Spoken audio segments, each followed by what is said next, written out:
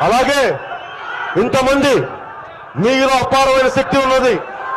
మీలో అపారమైన యువత మీరు ఖనిజాలు మీరు ఈ దేశ భవిష్యత్తుకి నిజమైన ఖనిజాలు యువత అలాంటి యువత మీరు బంగారు యువత బంగారు భవిష్యత్తుని యువత ఇలాంటి యువతకి నేను కోరుకునేదల్లా మీరు బాధ్యతతోటి నాకు మీరు అండగా నిలబడండి.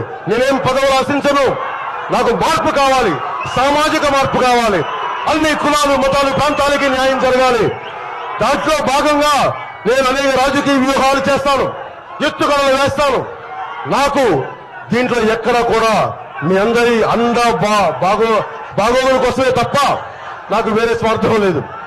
నాకు సినిమాల్లో ఉంటే నన్ను ఒక్కరు విమర్శించరు అందరూ ప్రేమిస్తారు. కానీ రాజకీయాల్లోకి రాగానే ప్రతి ఒక్కరు తిట్టడానికి అపారమైన అవకాశాలు కానీ నేను భరిస్తాను. మీరు కొట్టండి. నన్ను తిట్టండి నా మీద దాడి చేయండి. నేను భరిస్తాను నేను సహిస్తాను. నేను ఒక్క మాట కూడా ఎదురు మాట్లాడను. నా పని నేను చేసుకుంటే వెళ్ళిపోతాను. నాకు ప్రేమించే వాళ్ళకే సమయం కానీ ద్వేషించే వాళ్ళకి సమయం లేదు.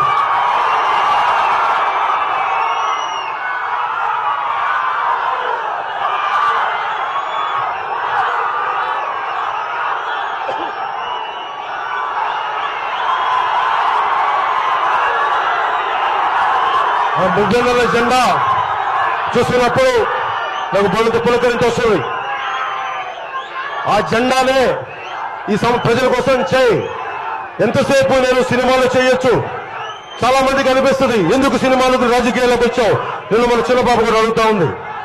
వాస్తవానికి సినిమాల్లో రెండున్నర గంటలు సినిమా చేస్తాం.